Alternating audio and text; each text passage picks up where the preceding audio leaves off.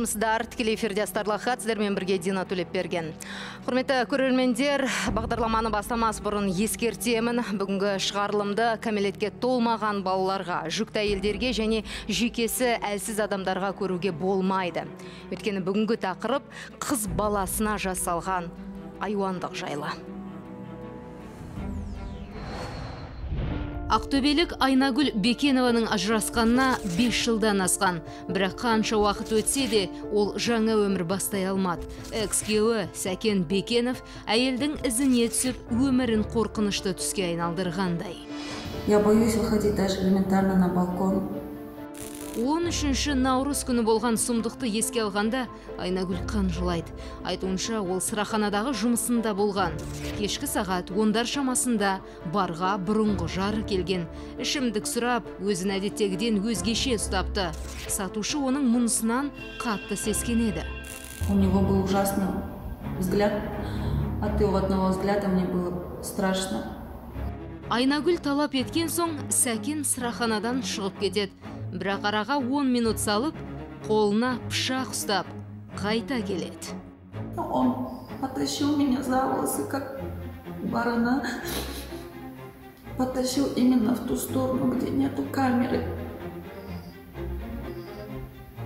Начал меня тыкать чем-то острым. Он говорил мне жуткие слова. Что раз я ему не досталась, с ним вместе не буду, значит, я не буду ни с кем. Он сказал что он убьет меня в тот день. Айнагүл 10 жастағы қызының есімін қайта-қайта айтып, оны анасынан айырмауды өтінеді. Сәкенді тек осы сөздер ғана тоқтатқандай. Сүйіктісін тіліп тастағаннан кейін ол дәргерлерді өзі шақырыпты. Айнагүлдің айтуынша ол еш сескенбестен жайбырақа дауыспен мұнда белгісіз біреу әйелдің бетін ет қылды деп күліп кеткен қымбатты сарапшылар армысыздар. Бүгінгі тақырып өте ауыр. Шын айтқан кезде соңғы кездері елімізде әйелдерге жасалған тұрмыстық зорлық зомбылықтың көбейіп жатқан жайы бар. Неге бұлай? Бұл карантиндік режимге байланысты ма? Әлде басқа біз білмейтін себептері бар ма? Дина может быть вы знаете? Как вы считаете в чем причина? Почему так много сейчас мы говорим о бытовом насилии, а именно жертвах бытового насилия? Ну, сейчас вот в условиях карантина, конечно, у нас увеличилось количество жертв. Даже мы по нашему телефону доверия видим, что очень много. Люди находятся в изоляции. Очень высокий уровень употребления алкоголя. У нас уровень продажи алкоголя вырос до 40% плюс э, изоляция. Каждый день они, ну вот это напряжение, плюс социальное какое-то напряжение, недостаток финансов там или еще что-то. Люди боятся, какой-то может быть страх за будущее.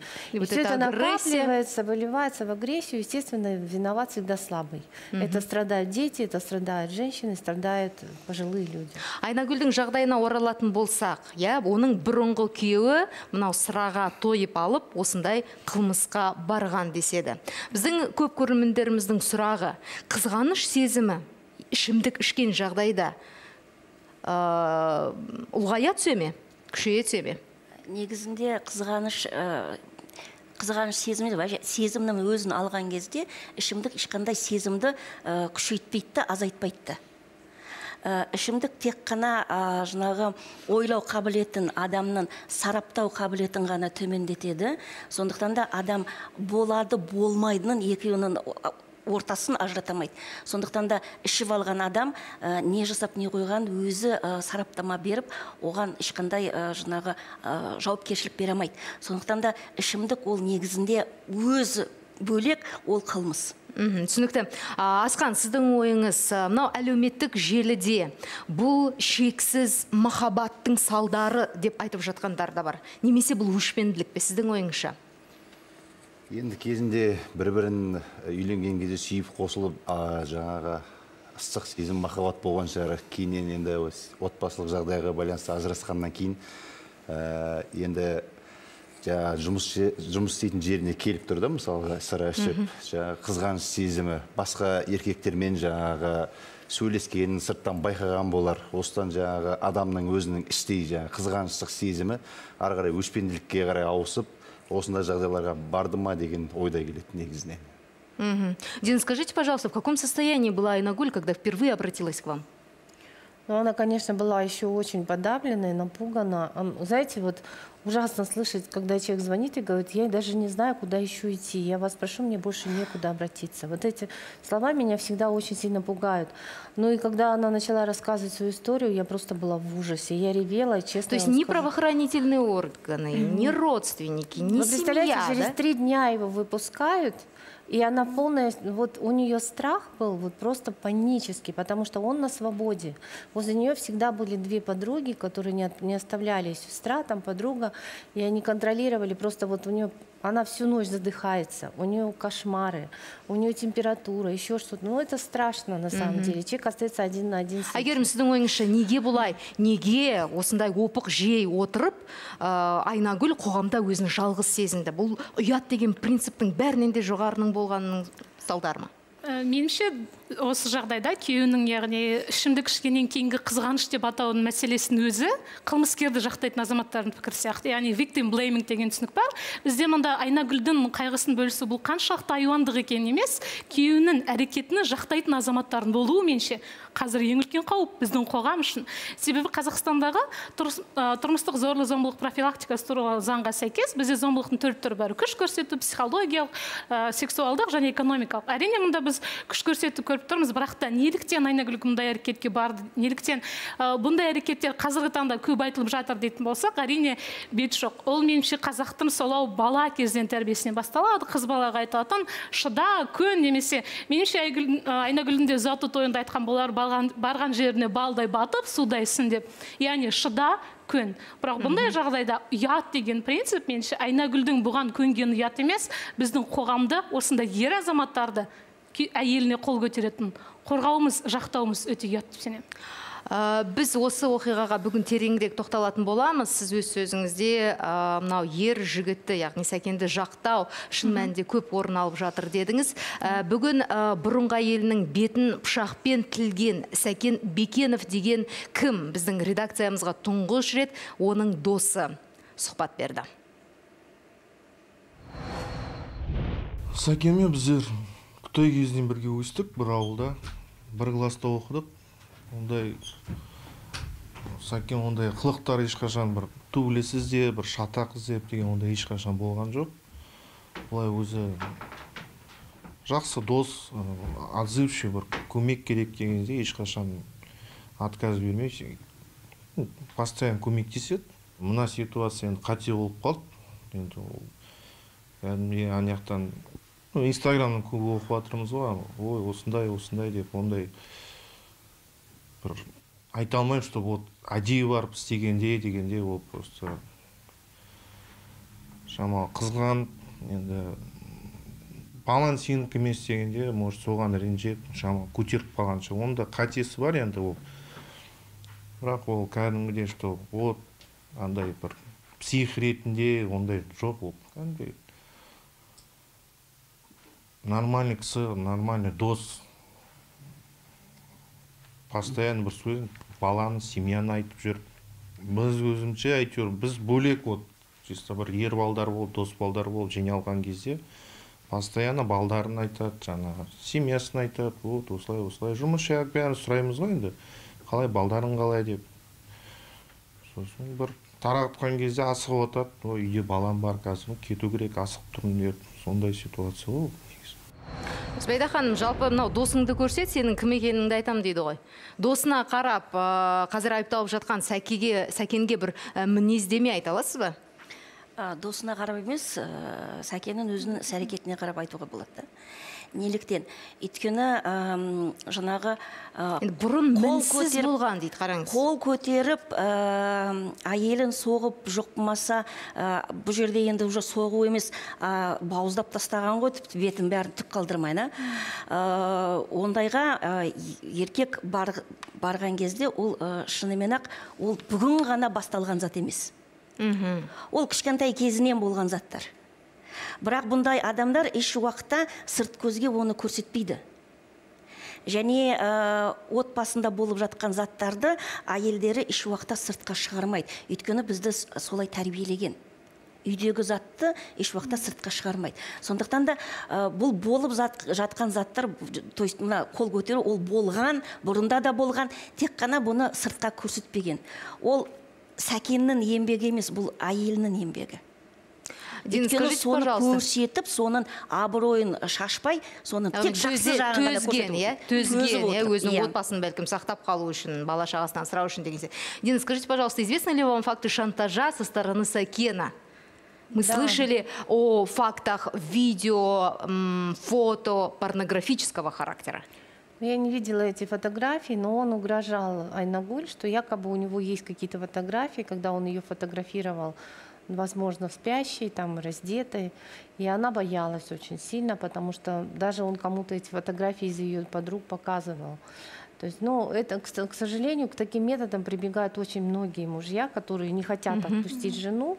И есть еще и хуже факты, когда они их фотографии размещают там на сайтах э, знакомств, на сайтах проституток, пишут их телефоны, адреса, их фото выставляют, там цену выставляют. Это вообще страшно, конечно, когда вот преследование. әйгерім егер бәлкім шын мәнінде осындай тыр жалаңаш суреттер әлеуметтік желіге бір жарияланып келсе ол әйел үшін қыз баласы үшін шын мәнінде қауіп пе? Әлде керісінше жарияласаң жарияла. Ол сенің сенің ұятың білсін деу керек пе? Қалай ойлайсыз? Әрине өкінішке орай біздің қазақстан республикасында жаңағындай әрекеттерге ешқандай құқық бұзушылық көрсетілмеген. Қылмыстық кодексте болсын яғни ешқандай заң бұдан қорғамайды қызды. Көптеген мемлекеттерде дәл осындай әрекет үшін бар. Яғни сіздің экс э, партнеріңіздің жұбайыңыздың сіздің бұрынғы суреттеріңізді жариялаған үшін мәселен сізге тап осындай бір бопсалау жасалған болса не істер едіңіз? Кез келген меніңше қыздар бірінші кезекте нені көру керек? Қазіргі таңда заң оны қорғамайды. Экс жұбайы бетін тіліп жатыр. Оны қорғайтын ол өзі ғана. Меніңше бұл жерде өлімнен ұят күшті деген сөзді сәл ұмытып өмір қымбат екенін ұят ол уақытша кететінін түсіну керек. Бірақ біздің қоғамда әзірге қорқыныш бар. Себебі біздің қоғам оны айтатын болады. Және сөз сүйектен өтеді деген сөзді өскен естіп өскен қыздар бұндай әрекеттен әзірге қорқады. Себебі заңда қоғамда құрбылары да қорғамайды. Мхм. Біз үшін әрине өлім бәрінен де күшті ұят күшті болып тұр иә? Сонымен айнагүлдің құрбысы гүлназ бізбен тікелей байланысқа қазір шығып отыр екен. Гүлназ сәлеметсіз бе саламатсыздар ма А, айтыңызшы мынау сіздің құрбыңыз айнагүлді ә, сәкеннің ә, бопсалағаны рас па? Иә рас. Мхм не деп қорқытқан сонда? Басында айтатын еді менен ажырасып кетсең балаңды заң түрінде алып қоямыз еді мхм. Ал мынау әлгі суреттер мен видеоны сіз өзіңіз көрдіңіз бе? Иә маған әкеліп көрсеткен оны. Мен жұмыста болдым ол кезде олар ұрысып жүр айнагүл хромтауда ол ол маған жұмысқа келді. Сосын айтты «М, айнагүлге айтпасам менімен қосылмаса мен осындай видеоны интернетке жіберемін деп. Мен сенген жоқпын оған. Сосын сенбесең мен саған көрсетейін деп мен дүкенде тұрдым жұмыс істедім сол уақытта келіп көрсетті маған ой ә, сонда сіз не көрдіңіз? қалай соны түсіріп алған айтыңызшы. Айнагүлді ұйықтаған кезде түсіріп алған.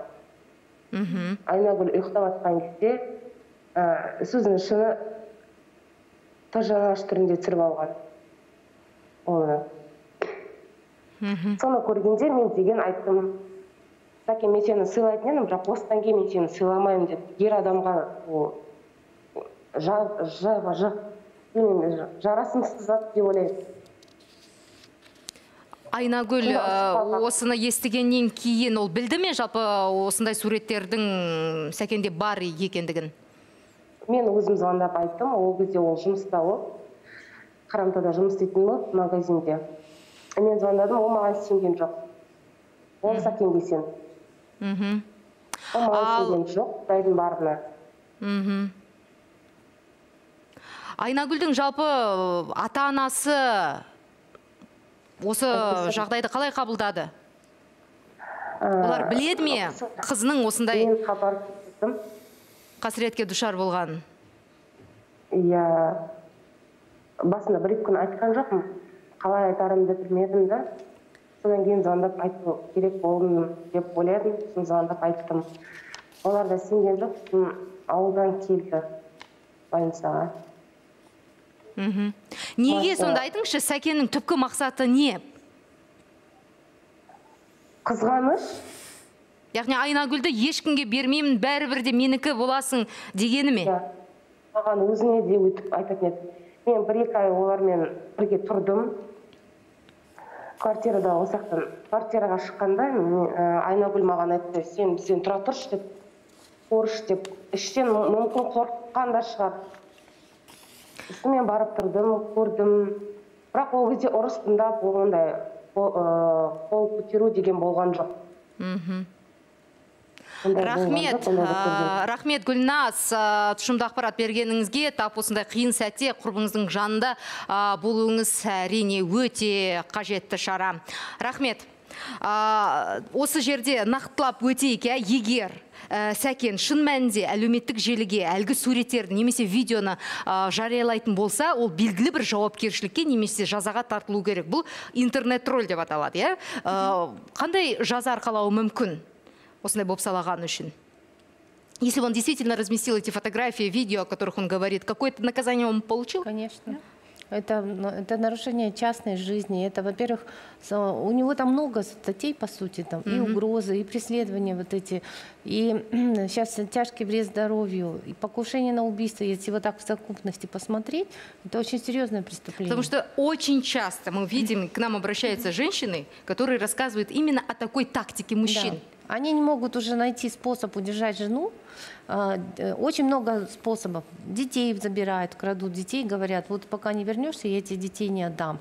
Я у тебя детей отсужу, у меня родственники в прокуратуре, там или еще что-то. Женщины боятся страшно.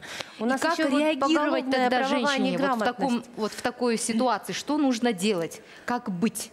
Вы знаете, я всем говорю одно, один и тот же совет. Мы вот называемся «Не молчи» организация. Я всем говорю, не молчите. Просто выходите в соцсеть, пишите все, что с вами делает ваш супруг. Все угрозы, фотографии публикуйте. Вот избил он вас, поставьте, скажите, вот я нормальный человек, работающий человек, зарабатываю деньги. Меня муж вот до такой степени избивает. Помогите. Все. То есть мириться и молчать нельзя. Это вот главное правило. Рахмет сонымен ә, сәкеннің анасы жұмағұл бекенова бізбен бірге тікелей байланысқа қазір шығып жатыр екен ә, жұмагүл апа сәлеметсіз бе саламатсың.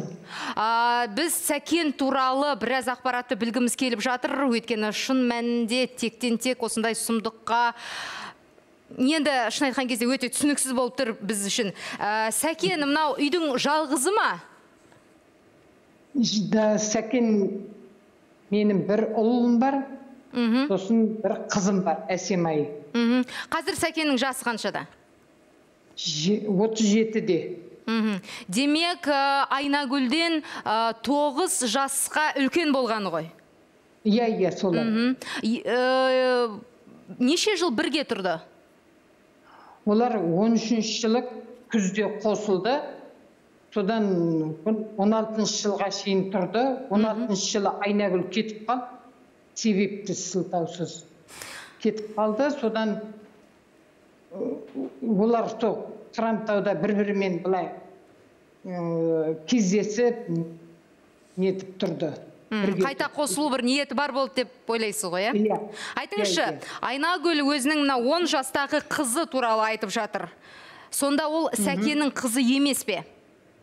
Сәкеннің қызы емес. Ол айнагүл он үшінші жылы біздің үйге келгенде ана қыз бала үш жаста екен. Сәкен бізге айтты айнагүлдің қызы бар үш жаста. Қызымен алып келем деп. Мен кедергі жасаған жоқпын алып кел баланың ешқандай зияны жоқ. Келгеннен кейін айнагүл келгеннен соң үш күннен соң айнагүлдің мамасы алып келді. Біз кім? Райгүлді. Біздер оны жақсы қарсы алып өзіміздің фамилиямызды бердік. Бекенова райгүл сәкен қызы деп. Түсінікті. Ә, біздің білуімізше айнагүл сәкеннің екінші жары иә? Бірінші келініңізбен не болған?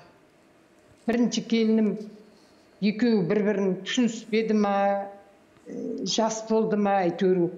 Бірақ не Ро- роза бірінші келіншегінің аты. Ешқандай екеуміздің арамызда ешқандай ұрыс керіс ештеңе болған жоқ. Сол өзінен өзі сол кетіп қалды ол да. Бәлкім сәкен бір қол көтеріп ұрып соғу дегенді бір көтерін көрген жоқпын. Ондай айтпайтын ешқандай. Екеуі Айтыңызшы. жақсы тұр ол кезде нұртас. Нұртас деген баласы бар бір жарым жаста болды. Жалпы ұлыңыздың мұндай ә, қатыгездікке баруына не себеп деп ойлайсыз? Ана жүрегі не дейді?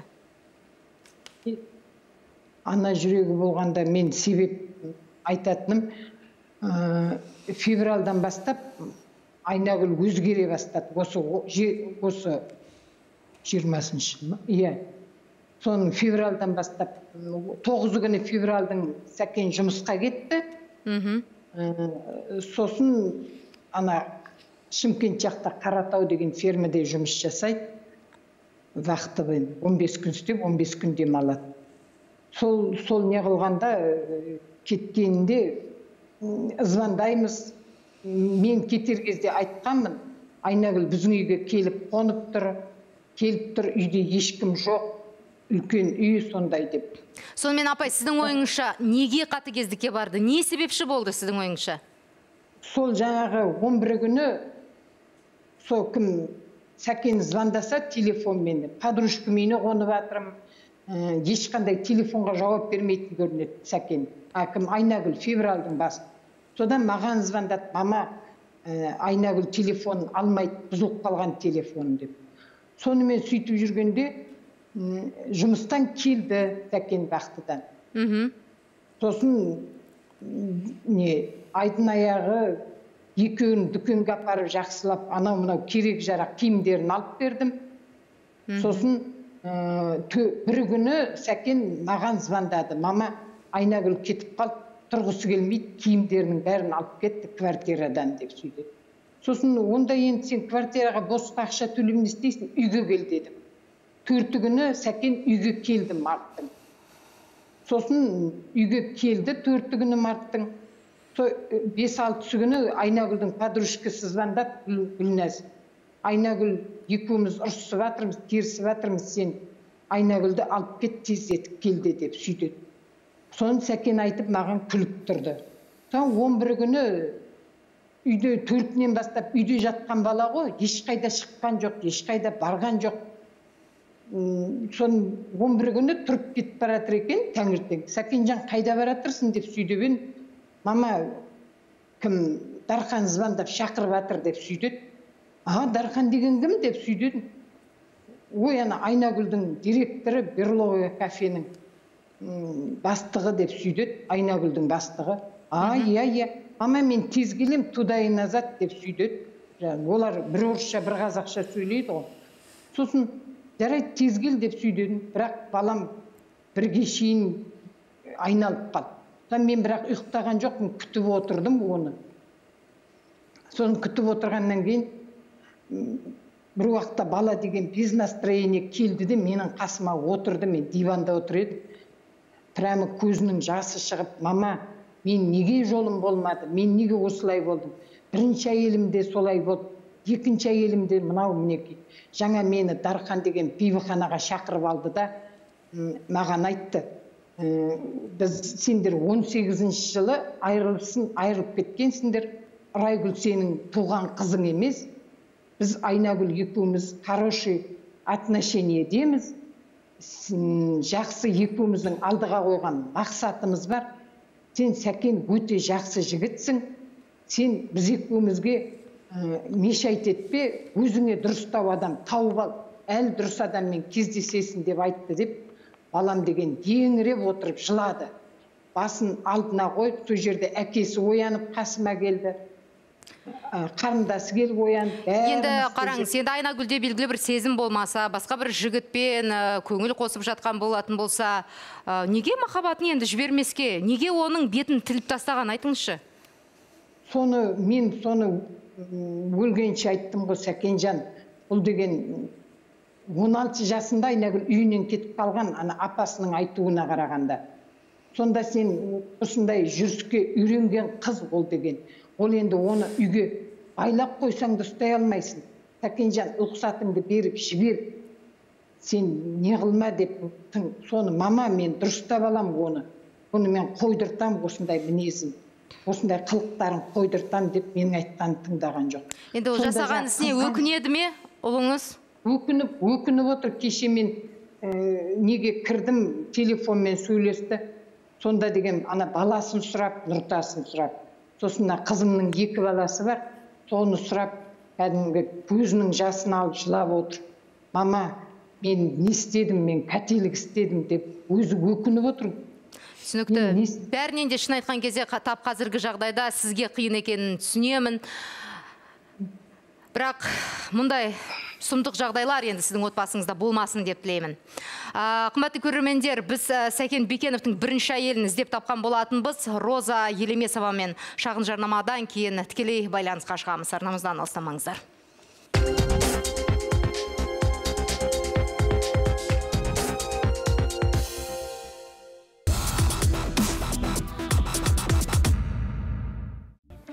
Тікелей эфирде астарлы ақиқат. Бүгін біз Ақтөбеде болған сұмдық жағдай жөнінде айтып жатырмыз. Айнагүл Бекенованың бетін бұрынғы күйеуі пышақта, пышақпен тіліп тастаған. Әйелді құтқару үшін дәрігерлер 3 сағат бойы ота жасады. Ең сорақысы полиция қызметі күдікті Сәкен Бекеновты бірден тұтқындамаған. Тек қоғамдық шу көтерілген соң, арада 21 күн өте тергеу изоляторына жапты. Айнагүлдің айтуынша экс күйеуі мұнымен қоймай, оның жалаңаш бейнесін суретке жасырын түсіріп бопсалаумен айналысқан. Біз қазір Сәкен Бекеновтың бірінші әйелін іздеп таптық. Роза Елемесовамен тікелей байланысқа шығып көрейік. Розамен біз кейінірек байланысқа шығамыз. Ә, Қазір байланыс орнатылып жатыр. Қымбатты біздің сарапшыларымыз.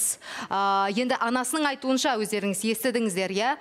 Үш жастағы қызымен әйелді енді отбасына қабылдаған екен. Кейін ажырасып кетсе де екі жастың бір қайтадан қосылуына бір амал әрекет жасалған екен. Сол жағдайда шөп салды деген желеу айтылып жатыр. Асқан сіздің ойыңызша шын мәнінде енді 2016 2013-те қосылып 2016-та ажырасыз дейді да. Ә, одан кейін мысалы қазір 20-ға дейін 4 жыл. 4 жылдан бері яғни араларында бір бірімен байланыс бар. Жаңа мамасы айтып отыр үйге шақырдық кел деп айттық. Сәкен жұмыс жоқ кез жұмыста кезінде кел дедік дейді. Знаешь бұл жерде жаңағы сәкен мен ә, айнагүлдің арасында ара қатынасы жақсы. Значит бір бірін телефонмен із- іздеп ә, неге телефон көтермеді десе екеуі енді ақпарат жүзінде жоқ болса да кездесіп. Енді ажырасып кетсе де бір артынан қалмай қоюының себебі не ол? Енді махаббат шығар енді. Менмендік пе махаббат па сенің ойыңша? А? менмендік пе әлде махаббат па? Енді бұл жерде екеуі де бар деп ойлаймын. Өйткені махаббатпен үйленген шығар. Одан кейін жаңағы достары жаңа айтып жатыр ғой.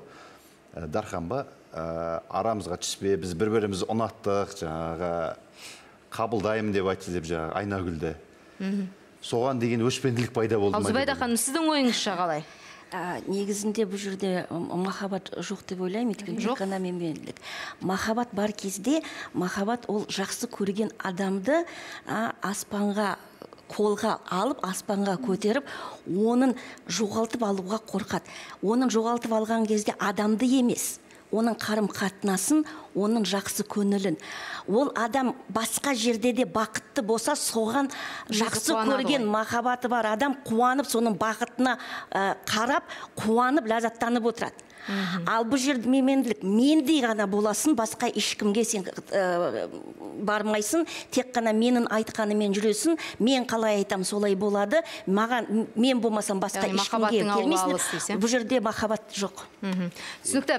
Қазір бізбен бірге байланысқа көрермендер қымбатты сіздерге уәде еткеніміздей роза елемесова шығып отыр екен. Ол кісінің де осы оқиғаға байланысты айтар өз ақпараты бар. Роза ханым сәлеметсіз бе? Айтыңызшы. Айтыңызшы сіз сәкеннің осындай қадамға барғанына сенесіз бе? Саламатсыздар ма мен шамалы шок болып негізі ондай адам емес мхм біздер 2006 жылы үйленгенбіз. Екі үш жылдай тұрдық бірге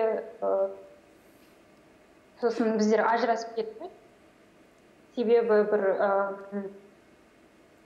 қаражат бойынша бір жер болды. Бұл жерде ұрып соғу сізді бопсалау осы сияқты әңгімелер болған жоқ па? Жоқ ондай болған жоқ. Араларыңызда ұл бар екен. Жалпы Иә. ам, әкесінің ұлына деген қамқорлығы қалай?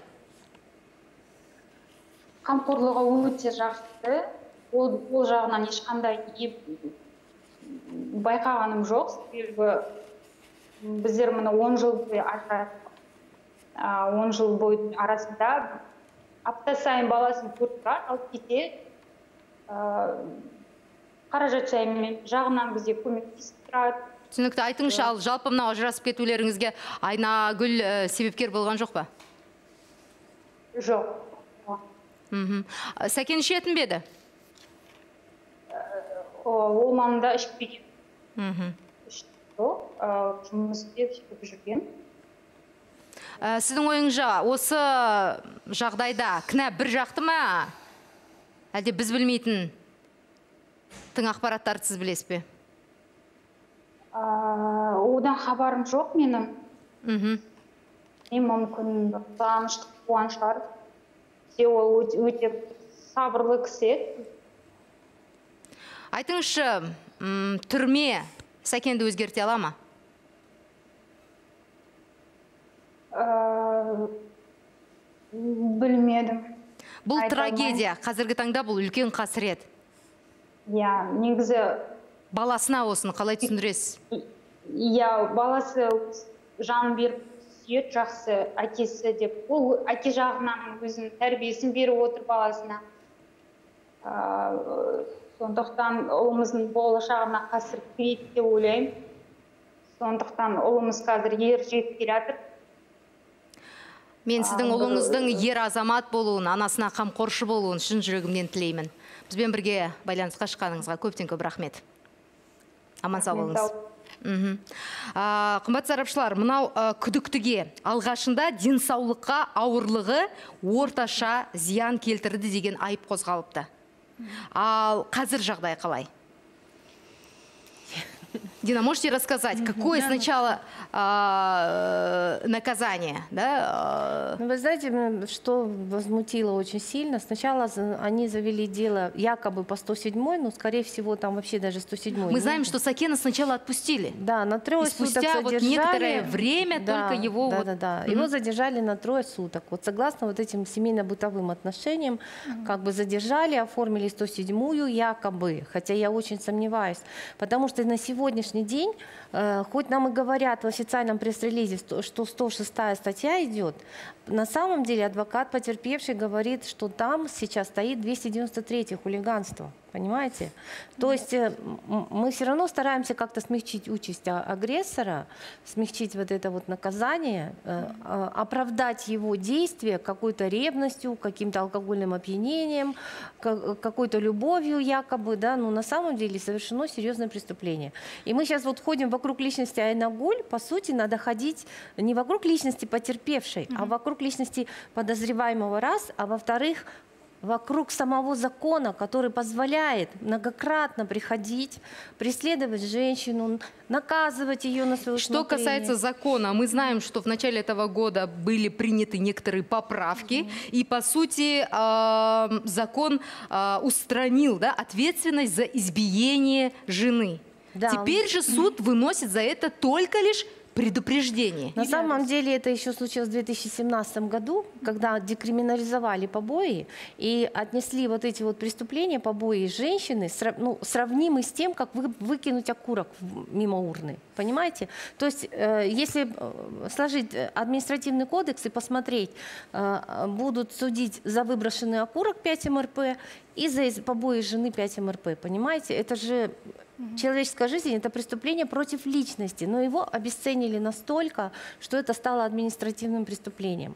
И на сегодняшний день безнаказанность и вседозволенность породила вот такой уровень, высокий жалпы уровень осы насилия. заңға түзетулерді енгізулердің айтуы бойынша Егер мәселен өзінің ә, әйелін күйеуі ұрып жыққан болса кейін оны түрмеге бір тоғытатын болсақ түрмеден шыққаннан кейін керісінше оның озбырлығы күшейе түседі деген пікір. Келісесіздер ме? Онда негізі психологиялық зерттеулер бар иә үш алуға байланысты. Жалпы заңды дина ханым толықтырып кететін болсам біз жалпы жаңағы сәкен мырзаның анасының досының құрбанын видеосын барлығын тыңдай келе біз сәкенді ақтауға ұмтылып бара жатқан сияқтымыз да. Бірақ та бұл жерде құрбан ол айнагүл екенін ұмытпауымыз керек. Ол қаншалықты қамқор әке қаншалықты бауырмал бала болса да сәкеннің айнагүлге жасаған мынандай әрекетінің аюандығын ешқандай ақтауға болмайды. Және біздің заңның өзі де айнагүлді қазір қорғап отырған жоқ. Неліктен себебі тұрмыстық зорлық зомбылық заңына сәйкес экс партнерлардың өзінде біз тұрмыстық зорлық зомбылық бойынша әкімшілік құқық бұзушылық кодексін жетпіс үшінші бабымен қараймыз. Ал ол жерде ескерту немесе әкімшілік қамауға сейчас закон, по сути, вообще не защищает жертв и в частности. Зорлық зомбылықтарды ешкімнен күйеуінен қорғамайды У нас вообще политика этого закона на- направлена на то, чтобы сохранить семью, даже ту семью, в которой страдают женщины, страдают дети, страдают там старики, да. То есть вся политика закона настроена на сохранение семьи. Здесь полностью исключается понятие права человека. Дина, почему вы начали бить тревогу? Вы боитесь вообще, что э, Сейчас безнаказанности? Я, я очень боюсь, потому что, например, а, статья хулиганства, она совершенно не соответствует содеянному, понимаете? Здесь попы- была попытка убийства. Человек открытым текстом говорил, я тебя убью, чтобы ты никому не досталась. Это же очень серьезное преступление. Оно оценивается как хулиганство, понимаете? Это неправильно. Мы, конечно, бьем тревогу, мы уже обратились в некоторые органы, к омбудсмену обратились, она сказала, обязательно поддержит Эльвира Азимова, что ну, такие преступления недопустимы. Это же, представьте, это пример для других. Вот если ему можно вот так изувечить жену, мы вот сейчас на всю страну этот факт обсуждаем. Завтра какой-нибудь вот такой же вот, э, извините, агрессор, он же продумал, он вышел, нашел нож, вернулся с этим ножом. Он находился почти три часа в этом заведении, он за ней наблюдал, он составлял целый план, что он с ней сделает. И он пришел с этим ножом, дождался, когда уже уйдут люди, и совершил совершенно циничное преступление, причем с особой жестокостью, потому что человек на живую берет и режет от уха до рта и делает ей вот эту улыбку, которая, чтобы она никому не нравилась, никому не досталась, уродливая умерла, понимаете? Это очень циничное преступление. Но мы на него смотрим как на семейно-бытовой конфликт. Понимаете? Приравнивается это все в итоге это это к всё, да, хулиганству. к какому-то непонятному семейному бытовому конфликту. Быт вообще здесь надо исключать. И тем более семейный, раз они разошлись. шыны керек та мен тыңдап отырып өте мысалы мен өзім сұмдық сұмдық негізінде да Ә, егерде екі адам пара пар күші бірге болатын болса бірдей да ол ұрысып төбелесіп жатса екеуі де кінәлі болады да? егерде екеуінің күші әлі ә, да пара пар болмаса онда ә, күші көбірек ол кінәлі. Бұл жерде еркек кінәлі. Екеуі ұрысып жатса мүмкін екеуі де кінәлі шығар. Бірақ еркек қол көтерді ма еркек кінәлі.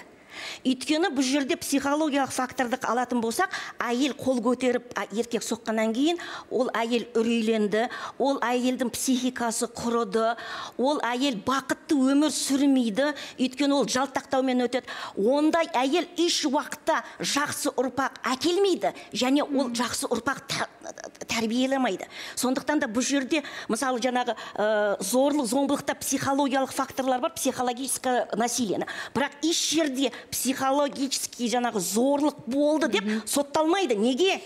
Да? өйткені ә, оған ешкім көңіл бөлмейді қарамайды. А негізінде ол психологиялық фактормен жаңағы зорлық көрген адам оны өмір бақи алып жүреді ғой. Ол өзі кетіп қалмайды. Ол еш уақытта иә? ұмытылмайды. Біз тақырыпқа міндетті түрде оралатын боламыз. қазір күллі қазақстан тілеуін тілеген айнагүл бекеновамен байланыс орнатайық. Айнагүл армысың? Уақыт тауып астарлы аққаттың студиясына бізбен тікелей байланысқа шыққаныңа көптен көп рахмет. Қазір қал жағдайың қалай? М, саламатсыз рахмет. Бәрі шүкір алла деп.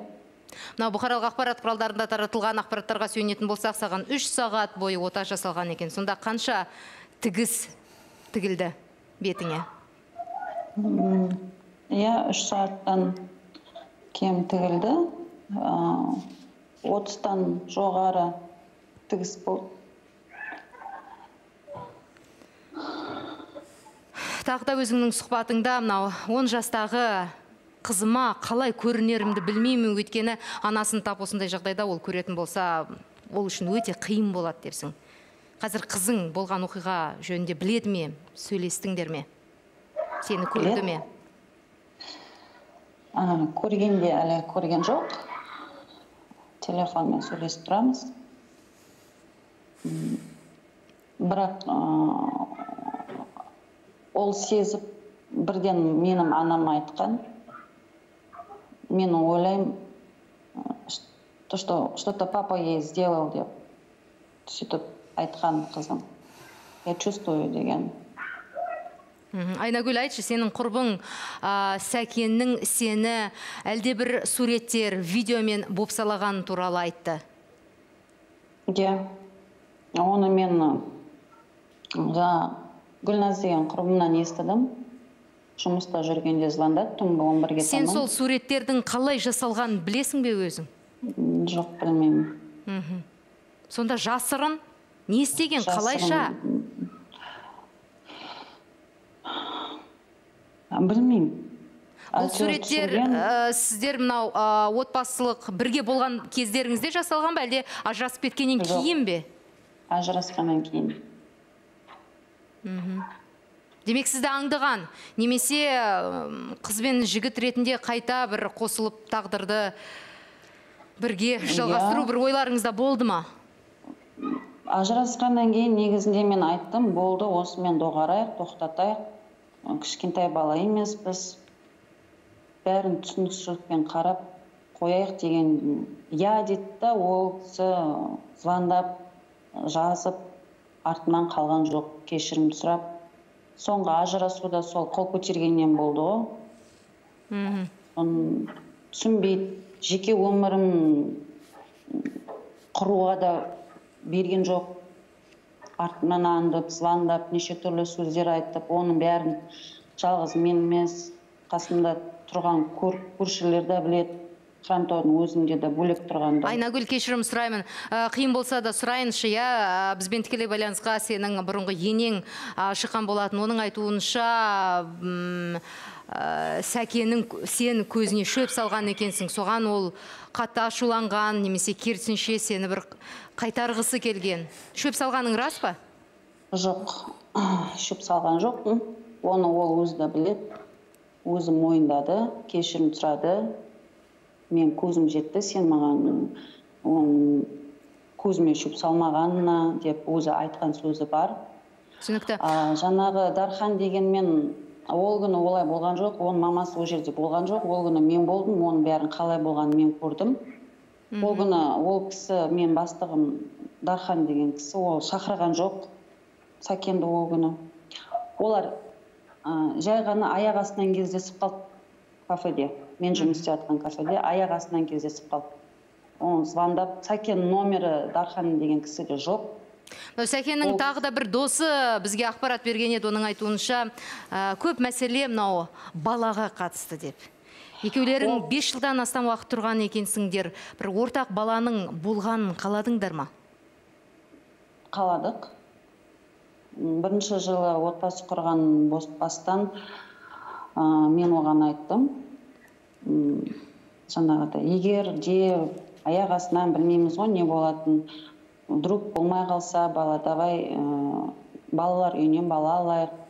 Я болса жаңа эко жасатып деп сөйтіп не істегенде ол айтты жоқ ә, мен хочу своего естественным путем дегендей а, уже когда ажырасқанда ол уже сол кезде маған айтты давай бала алайық бүйтейік семья болайық сосын менің енем айтқан сөзі жаңа мен естідім. Мхм. Үш күннен кейін баласын алып келді деп ол баланы мен негізінде анам айтты балаға тимей ақ қой өзің барып тастай батып судайсың. Қызды тимей ақ қой қалдыр маған дегенде ояқ жақ сәкен ата анасы өздері айтты. Баланың жаңа айтқандай кінәсі жоқ алып кел деп.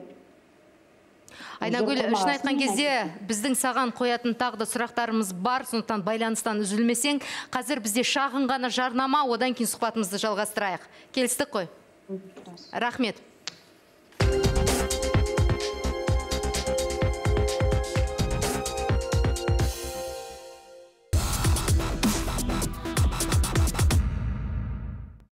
Тікелей эфирде астарлы ақиқат біз жалғастырамыз жұмагүл ханым ә, сізді қазір бұрынғы келініңіз айнагүл көріп естіп тұр. Не айтқыңыз келеді?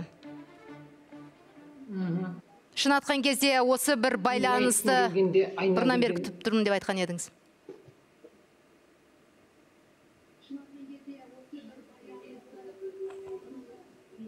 Жұмагүл ханым иә. мінекей айнагүл сізбен бірге тікелей иә. байланысқа шығып тұр. Не айтқыңыз келеді? Мен оны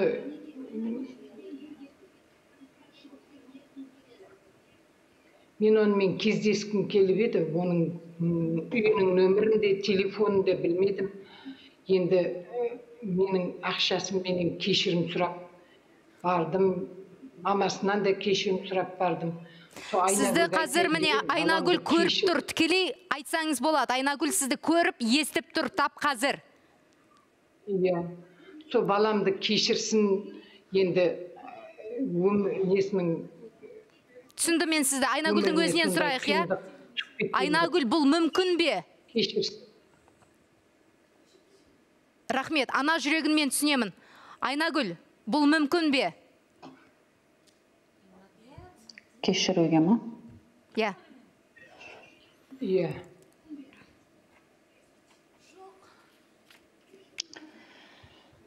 мен де бір пендемін ғой. Алла тағаладан кешірім сұрасын сәкен. Бірақ бұл жара жүректен әлі кете, қоймайды.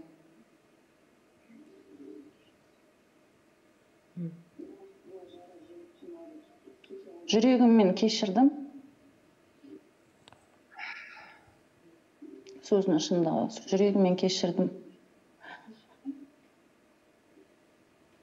Бірақ ол күні өлтіріп салған кезде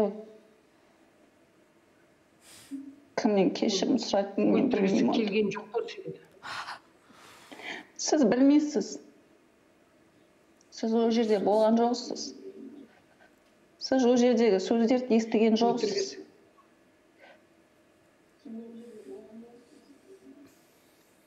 Сонда да сәкеннің өміріне сондай қиындық түсіп тұр. Енді кездеспейсіңдер. Сендердің айырылғандарыңды мен білген жоқпын он сегізінші жылы. Айтпадыңдар маған. Сен үйге келгенде неге айтпадың маған он сегізінші жылы? Иә сіз көп затты білген жоқсыз? Соны сіз маған сәкенді айтуыңыз қандай керек. екенін да білген жоқсыз? Мен сізге бір рет звондап айттым. Хромтауда тұрғанда.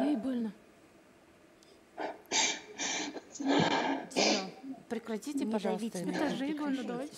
Перестаньте, пожалуйста. Не надо. сіз сонда деген оны жақтадыңыз мен емес айнагүл жылама мен еш уақытта оны жылама қалқам айнагүл шын мәнінде бүкіл бүкіл қазақстан халқы қазір сенімен бірге еңіреп отыр деп білемін өйткені ешқандай қыз баласын ешкімнің қорлауға құқы жоқ өкінішке қарай біріккен ұлттар ұйымының мәліметі бойынша елімізде жыл сайын 400-ден аса әйел осы тұрмыстық зорлық зомбылықтың құрбаны болып жатыр екен осындай қыз келіншектерге сен өзің не айта аласың қандай кеңес бере аласың Дина, хватит. Бесчеловечно. Вы что делаете? кешірмеу керек Кешірмеу. мен қателік жасағаным қазір ғана сезініп жатырмын ау бастан қол көтергеннен тоқтату керек еді бәрін. Мен айтатын